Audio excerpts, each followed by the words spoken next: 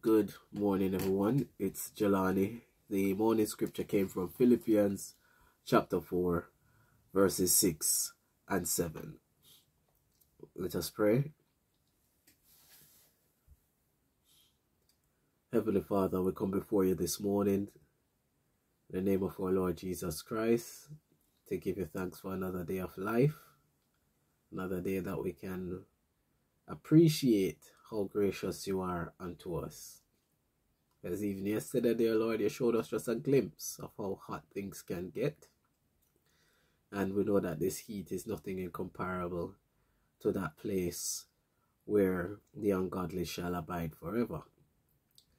So we are hoping that these signs that you have given us are or are giving us and are going to give us will turn us from committing evil and to actually seek you actually look to these things as warnings and not as just um freak of nature um, incidents but as warnings that we have but a short time with this mortality to get right with you.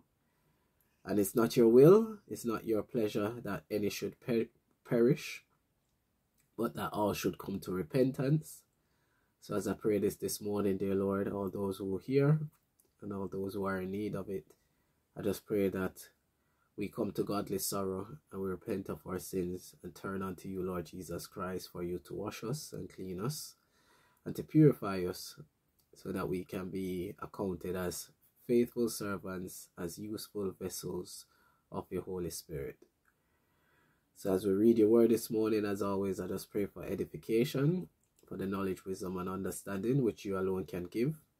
And I pray that we are of all one mind in you, Lord Jesus Christ, there that there be no schism nor discord or any such thing, For all of us who read these things of yours, that we do not lean on our own understanding, but come to you, the author and finisher of our faith, who have left us this thing. And as always, that you continue with us in this life to help us through our tests and trials, that we do not faint, nor break, nor fail, or anything of that of that sort. But that we overcome all things by the faith that we have in you, that in the day that you do return, we shall be with you forevermore. And we also, every single day, we pray for our children, the young ones, that they are grown up in the way of truth, in the knowledge of who you are. So when they're of age, they shall not depart from you. Help us, dear Lord, and prosper us in this life to do your will. And we just thank you this morning for everything. In the name of Jesus Christ, our Lord, we pray. Amen. All right. So Philippians 4, verse 6 and 7 says, Be careful for nothing but in everything by prayer and supplication with thanksgiving let your requests be made known unto God. And the peace of God, which passeth all understanding, shall keep your hearts and minds through Christ Jesus. Amen. Yesterday, somebody shared something about peace, right? There's artificial peace and there's true peace, right? and I believe I was speaking about this even a few weeks ago and the person was pretty much saying the same thing um, about peace right there is an artificial peace which the world gives and there's true peace which the Lord Jesus Christ gives right um numbing ourselves to things in this life um doesn't necessarily bring us peace it might bring us a, a, a pause in whatever things you are going through but um, it's not true peace if God is not involved in it, right? And as I said, the, the, the peace of this world is is is is temporary, right? That's why even Jesus Christ said, "My peace." I believe he was saying, um, he was speaking to his disciples somewhere in one of the Gospels, where he said, "My peace I leave leave unto you, not as the world give do I give unto you. Let not your heart be troubled, right? And he went on just to expound on that um on that point. So again this is reiterating that same thing. If we if it's saying be careful for nothing that mean and if you think about it logically, anytime we start getting anxious is when we start worrying and start um, overthinking on things or um, actually thinking um, that we are in control of everything. We're, we're, we're not, right? And that is plain to see. Um, I don't know who in this world is in control of everything. I believe no one is, right? Even if they think so, it's by God permission that you even can do what you can do, right? So when he said be careful for nothing, he actually means be careful for nothing because we can't, as one scripture will say, we can't make one of our hairs on our heads white. We can't add one measure to our stature. We can't do these least things, right? So why should we worry on the other things? And don't get me wrong, it's easier said than done right? Um, especially when you're going through it. I'm not here to belittle anybody's struggles. It is it, it is a test. It's a test. So it's, it's you're gonna encounter difficulties.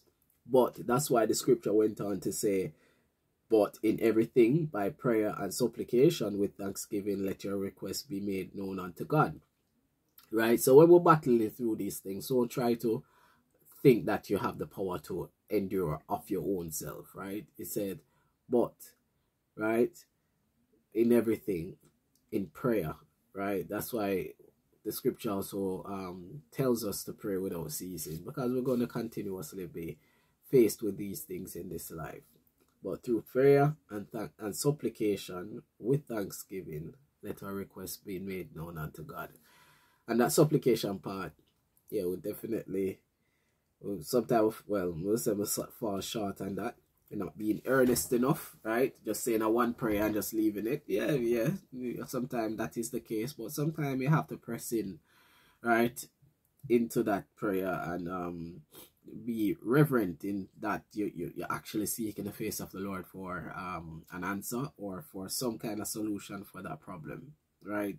And not to neglect to give him thanks through and and yeah through the thing and even when the thing is accomplished because and when I say give thanks, don't just give thanks when you think that you get what you want, right? Sometimes the Lord knows best and he, he won't give you what you pray for because it wouldn't be for your better, for your betterment, right? So if in those things, ask for wisdom obviously, because sometimes we have to step back and say, all right, Lord, I see why you never gave me that because this and that and this and that, right? And you can give thanks in that same way because he was able to to trump your prayer in that he gave you what was best for you ultimately. Even if you couldn't have noticed or seen it in the time, you pray for wisdom and understanding and you give him thanks when you come to terms with what he actually was doing in the grand scheme of things, right? And it said the peace of God, which I started off and spoke about, I started off and talk about the artificial peace, and this is now the true peace. The peace of God is the true peace. It says it's past all understanding, right? Anything that you could think that you comprehended. As I said, when you get the wisdom, understanding, and um and knowledge from God, this is what is going to give you true peace. You're gonna like, all right, it all makes sense, right? If I suffer for Christ's sake it makes sense now. It don't mean that I just there battling for no reason. I know why I'm battling. I know why I'm suffering for Christ's sake. I know why I have to endure. I know why I have to persevere. I know why I have to overcome. I know why I have to show the love of God throughout all situations. I know why I have to show the light of God in the, this dark world. All things start to make sense, right? And that will give you that peace that surpasses all understanding right? And it shall keep our hearts and our minds through and by and for our Lord and Savior Jesus Christ, right? So, yeah, I'll leave it at that this morning. Um, comments are welcome um, or questions, you can email them in to the email address in the description. Um, the word at eachreach1.org and as much as the Lord has led me, taught me, and kept me over the years, I will answer them according to His word, according to His principles, according to His will, be led by His Holy Spirit. Alright, so have a blessed day, everyone, and God's willing, we'll catch up again tomorrow.